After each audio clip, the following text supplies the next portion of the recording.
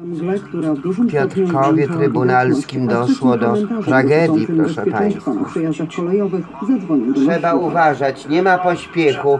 W Polsce tutaj, a cicho sza, bo tu jeszcze nie ma wyborów żadnych. Wybory to już u nas w Polsce jest po wyborach. Jest Kaczyński wybrany i już nie denerwować się i już. Wszystkich kierowców prosimy Nie o uwagę za trząść komentarz. się. Dziękujemy. Teraz aktualna sytuacja na drogach. Awaria samochodu ciężarowego w miejscowości Tutaj obserwujemy Królewskim wciąż zdjęcie, pocztówkę Biblioteka Uniwersytetu Warszawskiego autostradzie A1. i ci polscy studenci, polscy w Polsce, z Polski do 94 od Środy Polski, ze wsi do wsi.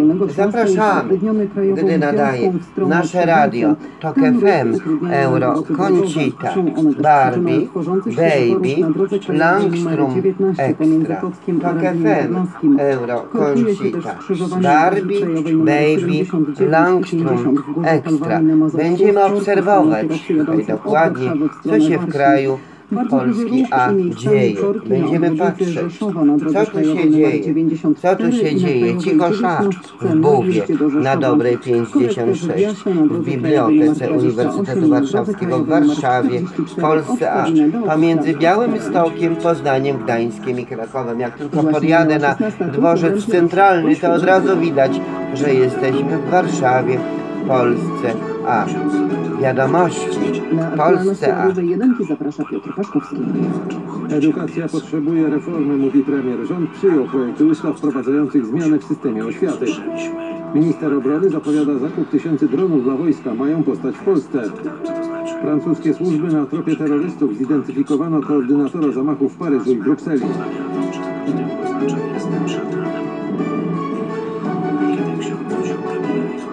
Rząd jest przygotowany do przeprowadzenia reformy edukacji, zapewnia premier Beata Szydło. Rada Ministrów przyjęła dziś projekty w tej sprawie, prawo oświatowe i przepisy je wprowadzające. Szydło przyznała, że reforma edukacji jest trudna, ale jak podkreśliła, Polska jej potrzebuje.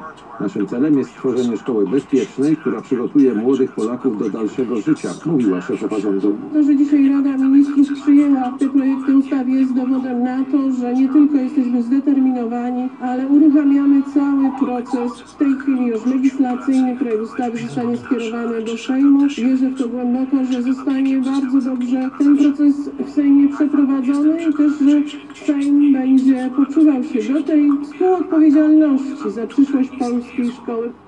Projekt zmian zakłada, że wróci ośmioletnia szkoła podstawowa oraz czteroletnie liceum i pięcioletnie technikum, a szkołę zawodową zastąpi dwustopniowa szkoła branżowa. Zmiany mają zacząć się już w przyszłym roku. Diabetolodzy i lekarze rodzinni będą ściśle współpracować w leczeniu cukrzycy. Porozumienie w tej sprawie podpisali w resorcie zdrowia przedstawiciele Polskiego Towarzystwa Diabetologicznego i Kolegium Lekarzy Rodzinnych. Joanna Stankiewicz. Dzięki współpracy lekarzy rodzinnych i specjalistów poprawi się jakość opieki diabetologicznej, uważa profesor Maciej Małecki, prezes Polskiego Towarzystwa Diabetologicznego. W moim przekonaniu bez wątpienia polski pacjent z cukrzycą skorzysta na tej intensyfikowanej współpracy między grupami lekarzy. Współpraca będzie polegała na wspólnych szkoleniach i opracowaniu wytycznych dotyczących opieki nad chorym na cukrzycę, dodał prezes Kolegium Lekarzy Rodzinnych dr Tomasz Tomasik. Ułatwią pracę lekarzom rodzinnym, spowodują to, że mniejsza liczba pacjentów będzie kierowanych do opieki specjalistycznej. Minister zdrowia Konstanty Radziwiłł podkreślił, że to lekarz rodzinny powinien koordynować leczenie pacjentów z cukrzycą, a w trudnych przypadkach współpracować ze specjalistą. Joanna Stankiewicz, Polskie Radio. Powołano Społeczny Trybunał Narodowy. To obywatelska inicjatywa, która ma osądzić zbrodniarzy komunistycznych i zdecydować o ich symbolicznym społecznym wykluczeniu. Porozumienie w tej sprawie podpisały w Warszawie fundacje Łączka i Reduta Dobrego Imienia. Chodzi o wskazanie zbrodniarzy komunistycznych, którzy do tej pory nie zostali skazani, mówi prezes Fundacji Reduta Dobrego Imienia Maciej Świrski. Co będzie tą karą symboliczną? Wydaje się, że należy nawiązać do polskiej tradycji i tych zbrodniarzy skazanych przez Trybunał nazywać infamisami, czyli ludźmi pozbawionymi czci i honoru, którym żaden przyzwoity człowiek nie powinien podać ręki. Początkowo Społeczny Trybunał Narodowy ma się zająć inwentaryzacją zbrodni komunistycznych, a potem przejdzie do oceny działalności poszczególnych osób. Francuscy specjaliści do walki z terroryzmem są zdania, że udało im się zidentyfikować koordynatora zamachów w Brukseli i w Paryżu. Jest to prawdopodobnie mężczyzna posiadający belgijskie i marokańskie obywatelstwo. Więcej na ten temat Marek Brzeziński. Zdaniem ekspertów francuskich pod nazwiskiem Abu Ahmad ukrywa się przebywający w Syrii 32-letni Usama Atar. Ma on być weteranem dżihadu. To on z Syrii sterował na odległość terrorystami, którzy dokonali zamachu w stolicach Francji i Belgii w listopadzie ubiegłego roku i w marcu 2016. Prowadzący dochodzenie nie mają wątpliwości, że rozkazy do ataku wydała ta sama osoba. Usama Atar alias Abu Ahmad widnieje na kilkunastu fotografiach, które miał przy sobie terrorysta skierowany do Europy. To pomogło w zidentyfikowaniu jego tożsamości. Według wywiadu i kontrwywiadu francuskiego miałby się zajmować nie tylko planowaniem i koordynacją zamachów, ale także rekrutacją terrorystów. Wśród nich miałoby się znajdować dwóch Irakijczyków, którzy wysadzili się w powietrze w pobliżu Stade de France w trakcie toczącego się tam towarzyskiego spotkania piłce nożnej. Także jemu organizatorzy zamachu w Brukseli przedstawili do ostatecznej akceptacji plan ataku w stolicy Belgii. Paryż, Marek Brzeziński, Polskie Radio. To były aktualności programu Pierwszego Polskiego Radia. Więcej informacji znajdą Państwo na portalu polskieradio.pl Pogoda. Na wieczora zachmurzenie duże i umiarkowane, miejscami słaby deszcz, na wschodzie i północy deszcz ze śniegiem, a w górach śnieg. Temperatura od 3 stopni na północy do 6 miejscami na południu i wybrzeżu. W nocy zachmurzenie duże, okresami opady deszczu ze śniegiem i śniegu, a w górach śniegu. Od minus 5 stopni na Podlasiu do plus 1 stopnia na Roztoczu i nad samym morzem. Sport w radiu. 13 tysięcy wniosków, decyzję dostało 2200 osób. W innych województwach jest podobnie. W Wielkopolsce z 7 tysięcy wniosków rozpatrzono 1 trzecią, na Mazowszu jeszcze mniej. Urzędy marszałkowskie alarmują też, że brakuje im pieniędzy na obsługę programu, a w przyszłym roku ma być jeszcze trudniej. Limit, który otrzymaliśmy od wojewody małopolskiego na przyszły rok, to jest tylko 295 tysięcy. Zanosi się na to, że będzie brakowało ponad 1,5 miliona złotych na obsługę. Zmniejszenie środków na obsługę programu to decyzja Ministerstwa Rodziny, Pracy i Polityki Społecznej. Z Krakowa Paulina Nawrocka, TOK FM. To jeden z tematów dzisiejszego magazynu reporterów TOK FM. Godziny szczytu jak co dzień po 17. Na długi weekend synoptycy zapowiadają mróz i śnieg, dlatego drogowcy szykują się już do akcji zima. Jak donosi Agnieszka Wynarska, pierwsze solarki i piaskarki wyjechały już dziś na drogi, m.in. w Kujawsko-Pomorskiem.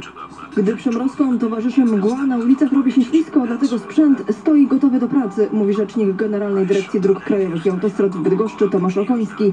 Sól, podaż, florek wapnia też na bardziej ostrą zimę. Pierwsze już solarki dziś w nocy wyjechały, bo taka pogoda potrafi być zdradliwa, szczególnie gdy właśnie nie ma śniegu. Jeździmy tak jak latem, a się okazuje, że miejscami naprawdę może być ślisko. Do zimy powinni też przygotować się kierowcy i nie chodzi tylko o zmianę opon na zimowe czy wymianę płynów w spryskiwaczach, przypomina Krzysztof Nowak z Inspekcji Transportu Drogowego. Trzeba wziąć margines na złe warunki drogowe oraz to, że mogą zdarzyć się nieprzewidywane sytuacje na drodze. Wypadki, korki lub kolizje, co też może wydłużyć niestety czas Kierowcy mogą sprawdzić aktualne warunki drogowe w informacji Generalnej Dyrekcji Dróg Krajowych i Autostrad pod numerem telefonu 19 111. Z Bydgoszczy Agnieszka Wynarska, TOK FM. Już teraz prognoza na najbliższą dobę, a kolejne informacje o 16.20. Pogoda. Ostrzegamy kierowców tej nocy już wszędzie będzie mroźno, do minus 5 stopni na Suwalszczyźnie, tam też marznący deszcz, więc drogi naprawdę będą śliskie, zwłaszcza na północnym wschodzie, ale w wielu regionach tej nocy będzie padał deszcz albo deszcz ze śniegiem. Jutro w ciągu dnia kolejne przelotne opady, na termometrach do 4 stopni. Radio TOK FM. Pierwsze radio informacyjne.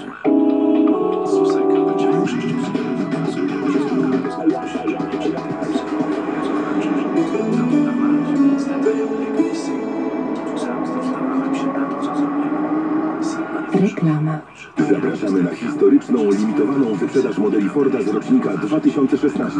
Tylko teraz Fordy Kuga, Fiesta, Focus, Mondeo oraz inne modele z atrakcyjnymi rabatami. Zyskaj nawet do 19 400 zł. Zapraszamy do autoryzowanych salonów Forda. Reklama. Światopodgląd. Agnieszka Wichnerowicz, Państwa gościem jest teraz Michał Potocki, dziennikarz e, Dziennika Gazety Prawnej. Dzień dobry. Dzień dobry. I też współautor ze Zbigniewem Parafianowiczem już drugiej książki o bohaterach, jeżeli mogę, i nie bohat, antybohaterach e, współczesnej Ukrainy, a więc wcześniej o byłym prezydencie Janukowyczu, a teraz właśnie wychodzi na dniach, już wyszła. E, kryształowy fortepian zdrady i zwycięstwa Petra Poroszenki. E, Przyznam, że jeszcze nie przeczytałam książki, więc nie będziemy o niej rozmawiać, ale wrócimy na antenie Radia Tok FM, bo chciałabym, żebyśmy porozmawiali o Białorusi, dlatego że dużo się dzieje w relacjach polsko O Białorusi, pieśni mam tam biały w chata, ostatnich tygodniach byli wciąż czegoś e, w brakuje. Mińsku. Ten, co Zniesienie mieście Wiślogrodna, mieszka, e, na no, minister Morawiecki mówi o tym, że polskie Hello, hello, Kirasta. Udział w prywatyzacjach na Białorusi. Em, Mogą, ale nie muszą. Właśnie, czy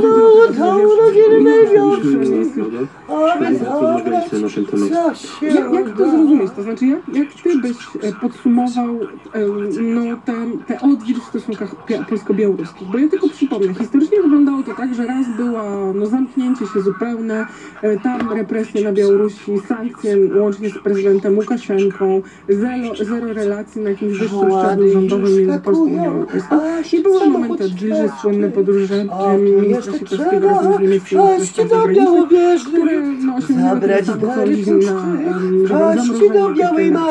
No to jak dla dobrych polskiego rządu? niespodzianki. Polski rząd się wpisuje w ogólną europejską tendencję do w, rozmrażania relacji z Białorusią. Oczywiście byli e, jak zwykle jastrzębie i gołębie tej polityki, natomiast, e, natomiast oczywiście po aneksji Krymu, a zwłaszcza po tym jak Aleksander Łukaszenka stał się, e, on nie lubi słowa A pośrednik, dzisiaj jest uliczki będziemy na jego prośbę było Natomiast lipki. jako, jako kraj, który, który przyczynił się do, e, do tego, że doszło do rozmów No to Wojtek źle e, mówi. które... Ale on kręci, bo mówi, że tak, że w. Lufciku pewniejsze. To czyli, że on pół wiedział, że tam coś jest. Deeskalowano konflikt, Tak, takie tak, słowo tak. swego czasu.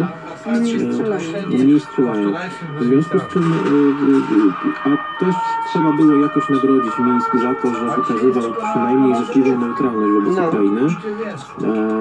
E, włącznie z tym, że na Białorusi Nie, tam w Lufciku to lipa. w czasie działań wojennych na Donbasie ukraińskie śmigłowce. W związku z czym No Okej, ale wiemy, że prezydent Łukaszenka jest mistrzem takiego lawirowania między Rosją a Unią Europejską, rozgrywania ich przeciwko sobie wzajemnie. No. Jak No to to więc widzisz, jak już tego jej prezydenta w? USA wybiorą, to będzie po co iść na ten wernisaż, bo dzisiaj to cicho sza tu w Polsce, a cicho o, wyjdź. prawach opozycji, bo minister Morawiecki no, w wizytę nie wpisał spotkania z opozycją. Szczerze mówiąc nie wiem, czy tam w ogóle kwestie związane No jak sobie z naładowałeś, to naładowałeś. Jako takiej. Czy w ogóle Czy- czy- czy- człowieka? Ja mam, ja mam w ogóle tak, ale właśnie to są, to, są, to są dwie rzeczy, które trzeba sobie ustalić. Czy my mówimy o prawach opozycji, czy mówimy, czy mówimy o demokracji, czy o prawach człowieka.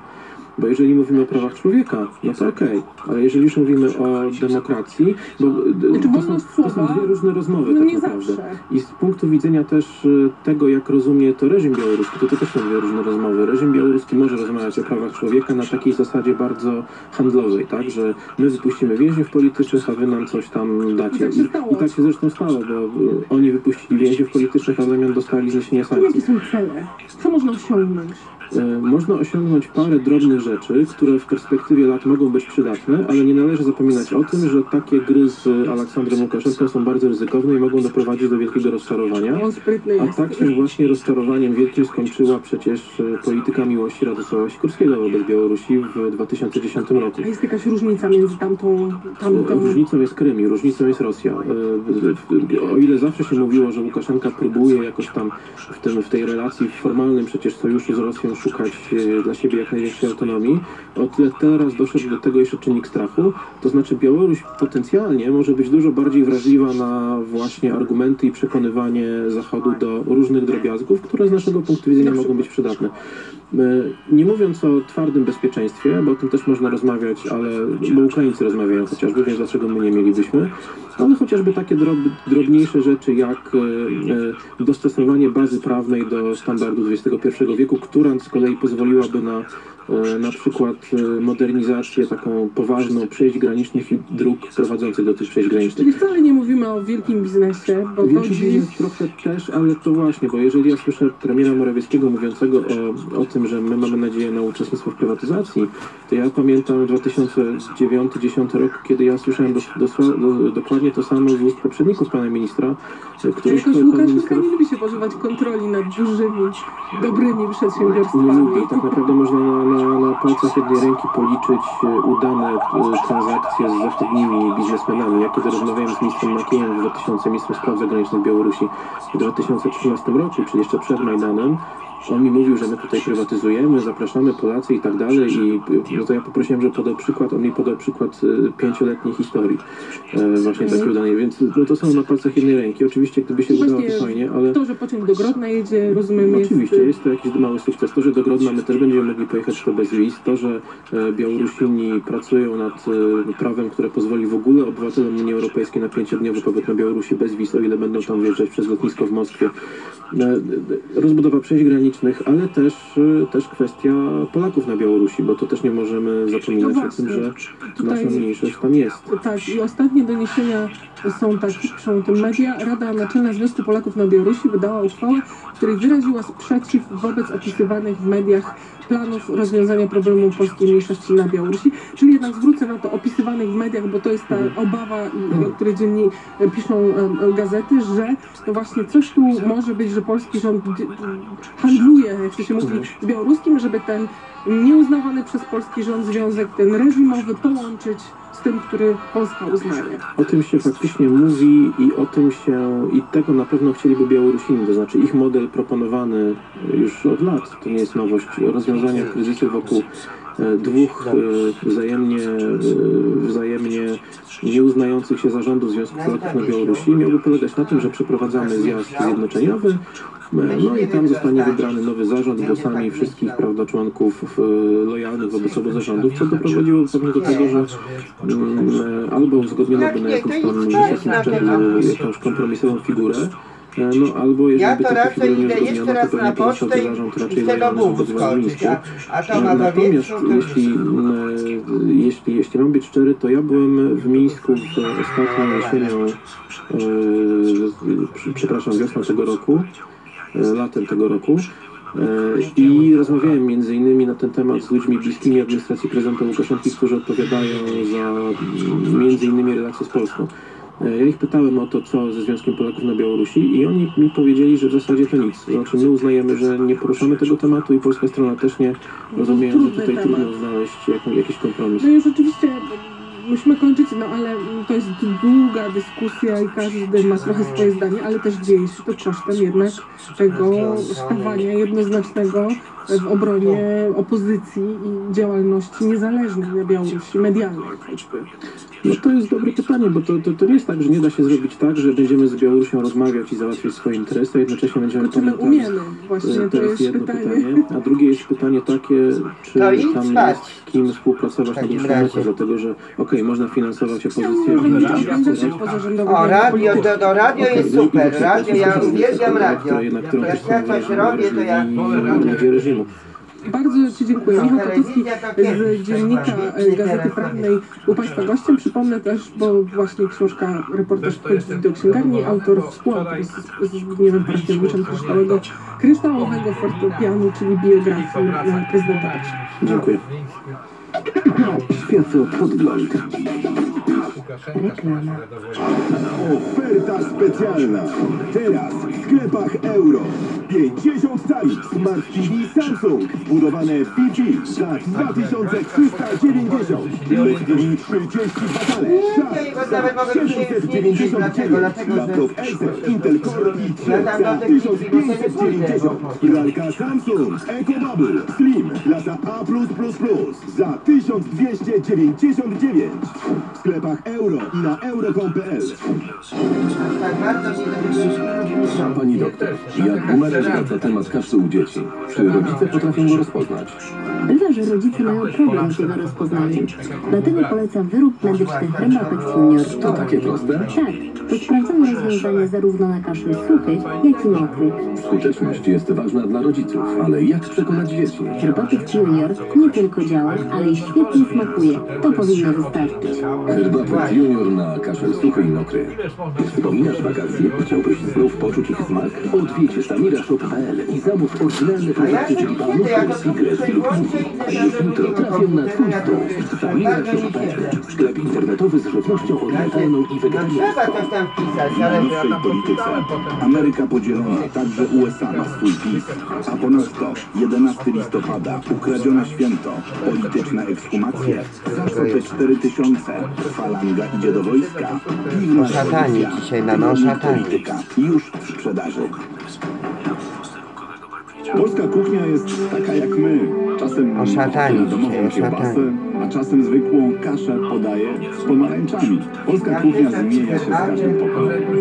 A dzięki tej książce będziemy pamiętać, jaka była polska kuchnia w naszych czasach. Zrób 6 razy zakupy w Lidlu za Nie ma 50 książki. zł. Ma. No jaką książkę? Odbierz książkę Kuchnia Polska Karola Okrasy i jego wyjątkowych gości z ilustracjami Andrzeja Pongowskiego. Już od czwartku w Lidlu. Regulamin akcji w sklepach na www.lidl. To jest bardzo dobra książka. ja Boga dziękuję, bo ja w Boga wierzę. A tu na razie stoi, poczekaj. Mamy dla Ciebie dobrą wiadomość. Bordowa okładka.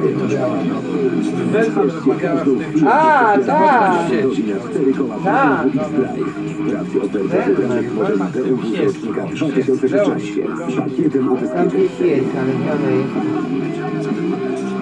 Jest też podłożone. BMW. Radość z jazdy. Co pana do mnie sprowadza, kochani? Gdzieś ona była. Chcę się dowiedzieć, co ją czeka w przyszłości. A, w kurzu nic nie widzę. Nikt nie może jej znaleźć. Czego jej potrzeba? Wszyscy muszą ją zobaczyć. Chcesz, aby Twoja firma była widoczna w internetowej panoramie firm i całym internecie? Wypróbuj nowoczesne rozwiązania dla biznesu. Pakiety cyfrowe, strony www, SEO, remarketing, mailing. Popraw widoczność swojej firmy w internecie. Zobacz pełną ofertę na eniro.pl. Za górami, za lasami Schwarzwaldu mieszkała emerytka. Jak co tydzień wsiadała do swojego auta i jechała do wnuczka z prędkością 30 km na godzinę. Raz Gdzieś była, to trzeba było ją sobie wziąć. Teraz już nie znajdzie. Kupujesz bajkę o niemieckiej emerytce? Nie? Słusznie. Kup auto z prawdziwą historią i przebiegiem. Wjedź na www.dasweltauto.pl Daswelt Auto. Samochody używane. Jakość gwarantowana. Reklama.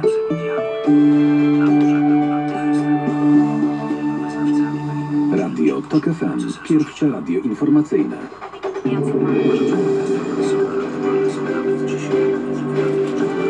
Informacje TOK FM. 16.21 Elżbieta Mazur, zapraszam. 900 milionów złotych. Tyle ma kosztować reforma oświaty. Rząd przyjął dziś projekty ustaw wprowadzających zmiany, w tym zmieniających strukturę szkół w Polsce, innymi likwidujących gimnazja. Minister edukacji podkreśla, że reforma oświaty nie powinna wywołać zwolnień wśród nauczycieli. Rząd Szkocji chce, by Sąd Najwyższy w Londynie zablokował Brexit. Pierwsza minister Szkocji Nicola Sturgeon oznajmiła, że Londyn musi uzyskać zgodę Szkotów, zanim rozpocznie negocjacje. Władze Portugalii oskarżają Rzym o utrudnianie śledztwa dotyczącego agenta rosyjskiego wywiadu, który przejął poufne informacje dotyczące Portugalii, ale także NATO. Oskarżony kupował je od pracownika portugalskich służb. Do zatrzymania doszło w Rzymie. Włoskie organy ścigania nie współpracują z Portugalią w sprawie śledztwa. Kilkaset monet i innych zabytkowych przedmiotów pochodzących m.in. z czasów cesarstwa rzymskiego znaleźli policjanci u mieszkańca Piły w Wielkopolsce. Wcześniej ktoś zauważył, jak mężczyzna z wykrywaczem metali przeszukuje teren oznaczony jako stanowisko archeologiczne. Więcej informacji z kraju i świata na tokafm.pl. Informacje kulturalne. Patrycja Alicja Wanad zaprasza na fotografię Ilony Szwarc pierwszy raz na indywidualnej wystawie w Polsce. Laureatka World Press Photo, która od wielu lat mieszka w Stanach Zjednoczonych, prezentuje swój najnowszy projekt I'm a Woman and I Feast on Memory. Tak jak podczas poprzednich prac, urodzona w Polsce fotografka zadaje pytania o tożsamość, tym razem jednak nie przygląda się amerykańskim kobietom, a sobie samej. Zaczęłam robić castingi na Amerykanki, które wyglądają podobnie do mnie. Taka próba wyselekcjonowania grupy kobiet taki pewien abstrakcyjny, artystyczny sposób, do której ja mogę należeć. Zadanie też takiego pytania a propos tożsamości i w jaki sposób tożsamość łączy się, czy właśnie się nie łączy z wyglądem, prawda? Czy te rzeczy jakoś tam razem ze sobą idą w parze, czy są kompletnie rozłączone. Wystawę fotografii Ilony Szwarc można znaleźć w Warszawie w Lejka Galery, a rozmowę z nią w archiwum Radia Tok w zakładce Kultura Osobista. Śląska zaprasza na trzecie Home Movies Day, święto kina domowego 26 listopada w Katowicach, a tymczasem Filmoteka czeka na domowe archiwa. Agata Tecyl-Schubert z Filmoteki Śląskiej zachęca do przeglądania domowych zakamarków, pawlaczy, tapczanów, a nawet lodówek. Ta historia była chyba najciekawsza, no bo pani przyniosła i mówi, że to dziedziczył po dziadkach i ta taśma po prostu zawsze była przechowywana w lodówce i ona chciała się jej jakoś pozbyć, zobaczyć co to jest. I to było polowanie, y, które odbyło się w zameczku w Promnicach, polowanie z lat 50. Wybrane domowe archiwa będą pokazywane w czasie święta kina domowego. Nie zabraknie też propozycji dla najmłodszych. W tym roku dzieci zobaczą pokaz slajdów puszczanych z projektora AJA. Katowice Ola Brodziak, TOK FM. Trwa festiwal filmów rosyjskich Sputnik nad Polską. Dziś w programie m.in. pokaz najnowszego filmu Andrzeja Konczałowskiego Raj. To opowieść o ludziach, których losy skrzyżowały się w czasie wojny rosyjskiej emigrantki, arystokratki i uczestniczki francuskiego ruchu oporu, francuskiego kolaboranta oraz wysoko postawionego oficera SS. Obraz został nagrodzony Srebrnym Lwem za najlepszą reżyserię na ostatnim festiwalu w Wenecji. Po projekcji, która rozpocznie się o 20 w warszawskim kinie Luna, odbędzie się spotkanie z reżyserem. Festiwal Sputnik nad Polską trwa do 13 listopada. A kolejne informacje na antenie Radia Tok FM o 16.40. Zapraszam. Pogoda. Prognozę pogody rozpoczynamy ostrzeżeniem dla kierowców, bo w większości regionów tej nocy będzie padał deszcz ze śniegiem, a na Suwalszczyźnie nawet marznący deszcz. Na termometrach nocą od 0 do minus 5 stopni, więc będzie ślisko. Jutro w ciągu dnia kolejne przelotne opady, a na termometrach do plus 4 stopni. Radio TOK FM. Pierwsze radio informacyjne.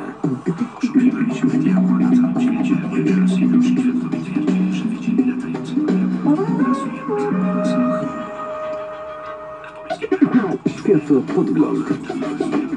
Agnieszka Wichnerowicz, a Państwa gościem jest teraz Masza Makarowa, dziennikarka e, portalu Wiadomo Co i Eastbook oraz działaczka Stowarzyszenia Za Wolną Rosję. Dzień dobry. Dzień dobry. Będę starała się unikać takich jednoznacznych porównań, bo z porównaniami, jak wiemy, i historycznymi analizami trzeba uważać, dlatego że one czasami są tak redukujące czy stereotypizujące, że bardziej utrudniają zrozumienie rzeczywistości mm, niż ją e, ułatwiają.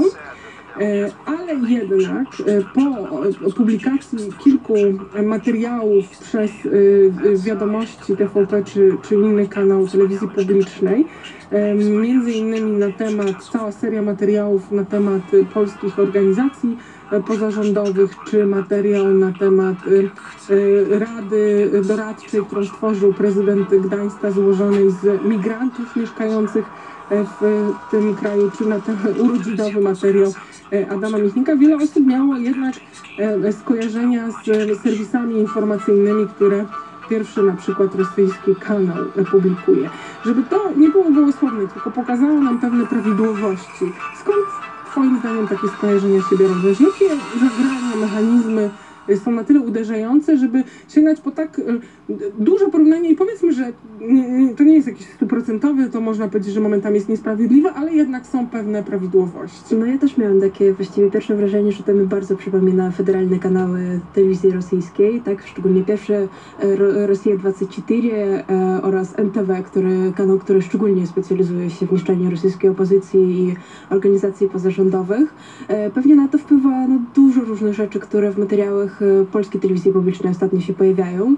E, Przede wszystkim też sposób, w jaki jest przedstawiany e, w jaki są przedstawiane fakty, ale też głos, którym de facto są podawane. Tak, bo powiedzmy, że tak bardzo nie będziemy mówić o merytorycznej zawartości tych materiałów, bo tych polemik było dużo. Znajdą Państwo w archiwum Radia Tok FM. E, Świetny jak zwykle tekst Ewy Siedleckiej też Państwo znajdą. Tylko mówimy o sposobie konstruowania przekazu. No właśnie na przykład ten materiał o powiązaniach w polskich NGO-sach, tak, o szkole liderów e, sławny ostatnio, na przykład ta intonacja, z którą w ogóle e, autor tego materiału wypowiadał słowa dotacje obcych państw, to jest po prostu no, żywcem wzięte z telewizji rosyjskiej, która doszukuje się właśnie finansowania zagranicznego przede wszystkim w rosyjskich fundacjach i stowarzyszeniach, co jest, co sprowadza ogromne kary na te stowarzyszenia, tak, w Polsce tego jeszcze nie ma, ale to jest kierunek, który w Rosji jednoznacznie jest wyznaczony. A, No, przede wszystkim też e, mm, dobór faktów, tak? Dobór e, obrazków, które w tych e, materiałach się Te pojawiają. grafy, te powiązania. Dokładnie. No, jeżeli mówimy o uchodźcach, no to jest jednoznaczne, tak? Że uchodźcy są niebezpieczni, że Ta są muzyka dzicy. dramatyczna. E, tak jest, e, ale też w ogóle nie rozróżnienie na przykład migrantów i uchodźców. Przecież na przykład w tej Radzie w Gdańsku też są Rosjanie, tak? Znaczy tam głównie są migranci, powiedzmy, są. Niemcy, Anglicy w tej radzie, o której akurat Tak, to oni jest, to jest po mówili. prostu manipulacja, To nie są tak? uchodźcy, to są migranci. Dokładnie. I to jest manipulacja, która w telewizji rosyjskiej również jest dokonywana. Oczywiście ja bym nie chciała też prowadzić e, tego porównania polskiej i rosyjskiej telewizji, tego, że to jest to samo, bo to nie jest to samo. Tak. Jednak e, polska telewizja po pierwsze robi mniej jakościowe materiały jednak. Mniej I te, pieniędzy. I te infografiki, które są pokazywane w polskim TVP, no jednak są bardzo niskiej jakości. Naprawdę telewizja rosyjska, e, pokazując powiązania rosyjskich NGO-sów z Soroszem czy z Soros. Michałem Chodorkowskim, tak, potrafi zrobić o wiele więcej i na przykład montować w biurach podsłuchy i wykorzystywać nagrania z ukrytych kamerek e, i prześladować na przykład rodziny w ogóle ludzi działających w NGO-sach. E, Jednak telewizja polska nie, ale e, moim zdaniem telewizja polska sięgnie tego dna, kiedy zacznie pokazywać w ogóle jakieś myślone historie, tak? No wszyscy pamiętamy te przykłady rosyjskiej propagandy o ukraińskich sytuacjach na- Ukrainie, na przykład o tym ukrzyżowanym chłopczyku, czy ukrzyżowanym chłopczyku, powiedzmy w Donbasie, który tak. mieli zrobić ukraińscy banderowcy, tak? Tego po prostu nie było, tak? To jest materiał, który był całkowicie zmyślony przez Mi się podobała jeszcze przypomina ta historia, z, e, jak był gdzieś jeden z pierwszych zamachów i wizytówka e. Dymitra Jarosza była na tak. miejscu. No, kiedy telewizja polska zacznie takie rzeczy pokazywać, No, ale to nie to zaczęła samo, też, ale jeszcze nie, więc... Znaczy możliwe, i- że nigdy. No, moim zdaniem wiem, że też różne osoby z Polski e, działające też w naszym stowarzyszeniu za wolną Rosję tak uważają, że a jednak sprowadzanie polskiej telewizji, porównywanie z telewizją rosyjską, mówienie o tym, że to jest to samo, e, też e, no, Jest jest niesprawiedliwe. niesprawiedliwe, ponieważ e, jednak propaganda rosyjska, która działa od dwóch lat przynajmniej na Rosjan, jest o wiele bardziej mo- mocniejsza i no, niszczy, tak? E,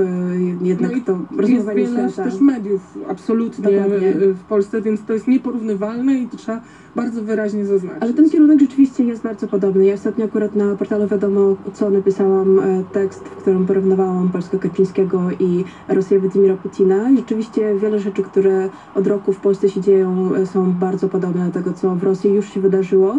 Oczywiście to, to również nie jest ta skala, ale to jest bardzo podobny kierunek. No, Zanim przejdziemy do konkretów, nie, nie boisz się, czy nie obawiasz się tego porównania, to znaczy, że jednak różnice są tak duże, że sugerowanie takiego podobieństwa też można by było uznać za manipulację. Ale raczej to jest tendencja, tak? Ta tendencja jest zauważalna. Podejrzewam, że no wielu Rosjan, którzy w Polsce mieszkają, i którzy jednak mają ten inny background, e, którzy od lat obserwują to, co się dzieje z naszym krajem, e, jednak te rzeczy, które w Polsce w ciągu roku się wydarzyły w mediach publicznych, czy z Trybunałem Konstytucyjnym, czy ustawa antyterrorystyczna, która w tym sa- samym czasie była zaostrzana, kiedy była zaostrzana rosyjska ustawa. No, ale jednak też to powiedzmy wszystko- ustawy antyterrorystyczne były zaostrzane również w zachodnich innych e, E, europejskich Tak, krajach. Jednak ta skala, skala upoważnień, tak, które dostają służby specjalne w Polsce, w Rosji, no to jest, to jest skala niebezpieczna moim zdaniem, zdaniem też ekspertów rosyjskich, którzy to analizowali. E, więc tych podobieństw jest dużo. Ja oczywiście e, cały czas też podkreślam, że Rosja, Polska Kaczyńskiego nie jest Rosją Putina i ten stopień represji politycznych, które... Nie, to jest nieporównywalne, To jest nieporównywalne absolutnie. i też prowadzenie tego do tego, że w Rosji jest tak samo, jest pewnie w jakiś sposób budujące dla Polaków, tak, że rozumieją, ale z drugiej strony trzeba mówić o tym, że jednak w Rosji to są represje i ograniczenie swobód praw na o wiele większą skalę. No właśnie, to, to, to zapytam Cię w takim razie jako autorkę tego tekstu,